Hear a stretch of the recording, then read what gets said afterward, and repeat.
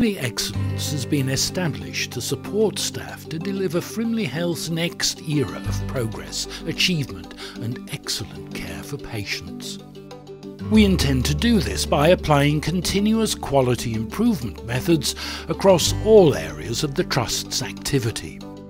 It's a key part of delivering Frimley Health's strategic ambitions, helping to enable an outstanding trust, delivering the best patient outcomes, safety and experience through a culture of continuous quality improvement.